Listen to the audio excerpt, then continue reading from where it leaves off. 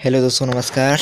दोस्तों, आपका बहुत बहुत स्वागत है। देखिए, छत्तीसगढ़ आंगनबाड़ी परीक्षा तिथि घोषित कर चुकी है और इसका जो एग्ज़ाम डेट है वो तेईस जनवरी को है और आज दोस्तों, आज उन्नीस तारीख है। तो सोच सकते हो आप कि जो इसका एग्ज़ाम है वो कुछ ज़्यादा दिन नहीं बचा मात्र पाँच दिन बचा हुआ है। तो आपको तैयारी बहुत ही हाई करनी होगी दिन रात एक कर देनी होगी।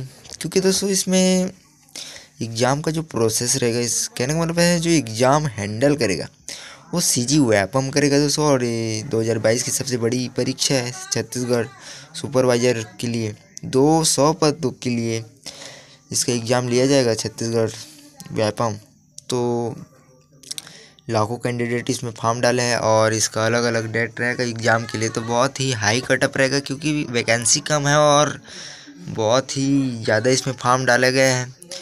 और बहुत ही ज़्यादा कटअप रहेगा और इसके कहने का मतलब जो क्वेश्चन है, वो इजी नहीं आएगा क्योंकि दोस्तों, जो इस क्वेश्चन की बात करें, इसमें थोड़ा हाई लेवल का क्वेश्चन रहेगा तो बहुत ही हाई जाएगा कटअप इसका तो आपको तैयारी तगड़ी बनाए रहना है और अगले वीडियो के लिए बने रहे।